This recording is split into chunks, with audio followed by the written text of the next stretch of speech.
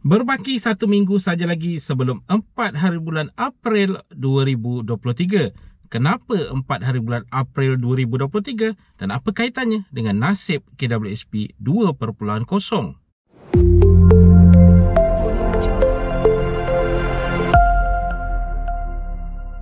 Assalamualaikum, salam sejahtera. Jumpa lagi di channel Heruan Evi. Okay guys, kepada mereka yang belum lagi subscribe ke channel ini, jangan lupa tekan pada butang subscribe tekan juga pada butang loceng.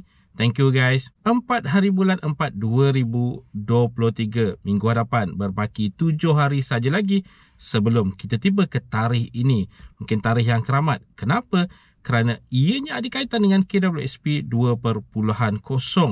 Jika dilihat sekarang ini dalam situasi terkini, perdebatan berkaitan dengan pengeluaran KWSP 2.0, KWSP bersasar, pengeluaran kecemasan ini menjadi panas kerana adanya sidang Dewan Rakyat yang sedang berlangsung dan 4 April 2023 bakal berakhirnya persidangan Dewan Rakyat yang kedua Parlimen Penggal ke-15.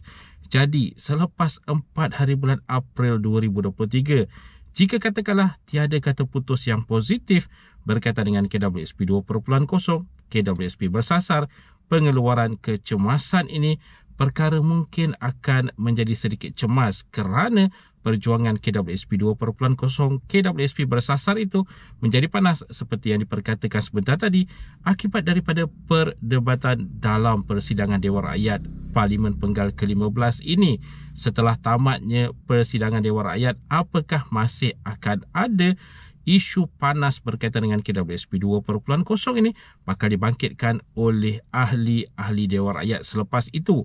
Itu persoalan terbesarnya sekarang ini kerana medan di persidangan Dewan Rakyat itu sangat-sangat diguna pakai sekarang ini untuk memeriahkan untuk menampakkan kepada Perdana Menteri kepada pihak kerajaan yang membuat keputusan berkaitan dengan pengeluaran KWSP 2.0 ini berkaitan dengan betapa perlunya untuk meluluskan KWSP 2.0 itu. Dan kita sedar bahawa Perdana Menteri dan pihak kerajaan telah pun membuat keputusan dan kekal dengan keputusan untuk tidak membenarkan pengeluaran KWSP 2.0 ini tetapi telah pun memperkenalkan pinjaman bercagar KWSP menggunakan akaun 2 yang mana sehingga ke hari ini kita masih lagi belum mendengar mendapat perinciannya berkaitan dengan pinjaman bercagar ini.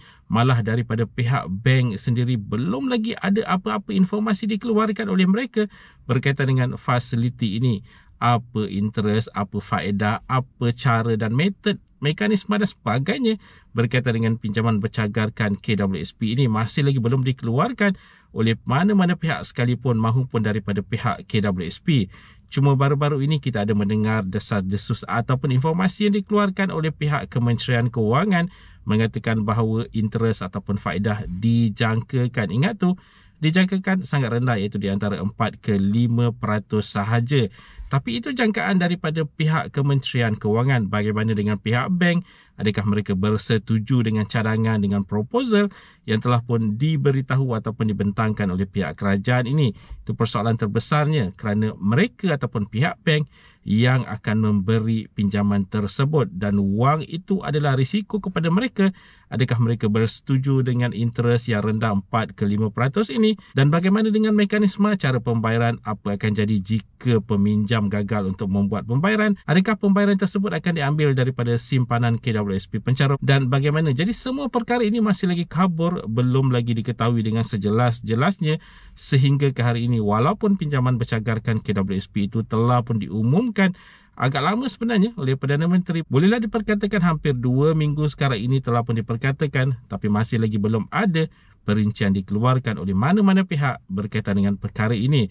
Jadi persoalan seterusnya lagi berkaitan dengan KWSP 2.0 ini berbaki satu minggu sebelum 4 hari bulan April akan berubahkah keputusan Perdana Menteri akibat daripada desakan-desakan ahli Dewan Rakyat yang semakin panas sekarang ini? Jika dilihat dalam persidangan Dewan Rakyat ini makin ramai ke depan tampil untuk menyokong ataupun meminta mendesak pihak kerajaan membenarkan pengeluaran KWSP 2.0 ini.